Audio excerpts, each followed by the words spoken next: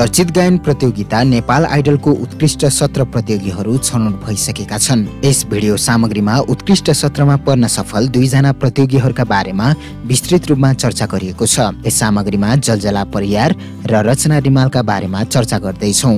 अन्य प्रतियोगीहरूका बारेमा जान्न हाम्रो च्यानलका थप भिडियोहरू हेर्नुहोस्। जलजला परियार। नेपाल आइडल सिजन तिनको उत्कृष्ट सत्रमा पुगेकी सौरौं प्रतियोगी हुन् जलजला परियार। नेपाली ताराको तेस्रो सिजनमा उत्कृष्ट छसम्म पुगेकी जलजलाले गाएका केही गीतहरू समेत बजारमा चर्चित छन्। अर्घाखाँचीको धारापानी गाविसमा जन्मिएकी जलजलाले सानै उमेरदेखि गीत गाउन थालेकी हुन्। हाल काठमाडौँमा बसोबास गर्ने जलजला बाइस वर्षकी छिन्। सानैमा कम आँखा देख्ने र दस वर्षको उमेरदेखि बाथरोगबाट ग्रसित भएकी जलजलाको सङ्गीतको यात्रा निकै रोमाञ्चक र कठिन पनि छ। अर्घाखाँचीको धारापानी गाविसमा जन्मिएकी जलजलाले सानै उमेरदेखि गीत गाउन थालेकी हुन्। एक समय मृगौला रोगबाट ग्रसित भएकी उनले आमाले मृगौला दान गरेपछि नयाँ जीवन पाएकी थिइन्। सानैदेखि बाथरुकले सताएकी उनको अचानक दुवै मृगौला फेल भयो। त्यसपछिको उनको साङ्गीतिक यात्रा निकै सङ्घर्षपूर्ण बित्यो।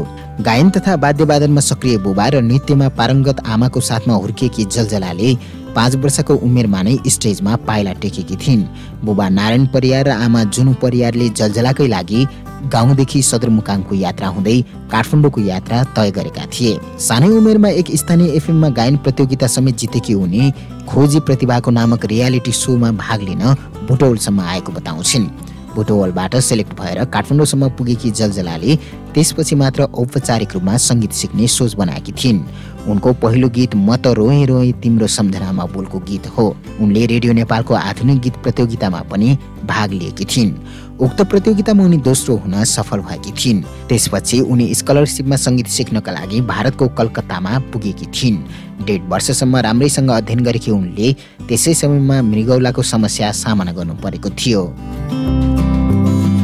रचना रिमाल। नेपाल आइडल सिजन तिनको उत्कृष्ट सत्रमा पुगेकी सत्रौं प्रतियोगी हुन् रचना रिमाल।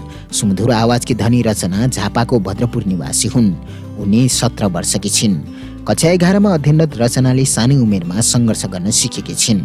मिठो चटपटे बनाउने रचनालाई भद्रपुरमा धेरैले चटपटेवाली भनेर चिन्छन्। विद्यालयमा पढ्दाको समयमा नै गायन प्रतियोगिताहरूमा भाग लिने गरेकी रचनाले गायन प्रतियोगिताबाटै हार्मोनियम पनि जित्न सफल भइन्। सबैले चटपटेवाली भनेर चिने तापनि उनी आफ्नै नामले चिनिन चाहन्छन्। निर्णायक न्यू बज्राचार्य उनको घरमै उनको आवाज सुन्न पुगेका थिए। आदरणीय दर्शकबिन तपाईँलाई यो भिडियो कस्तो लाग्यो? तपाईँको विचारमा नेपाल आइडल सिजन तिनको विजेता को बन्ने छ? कृपया कमेन्ट गर्नुहोस्। यस्तै भिडियोहरूका लागि हाम्रो च्यानललाई सब्सक्राइब गर्नुहोस्।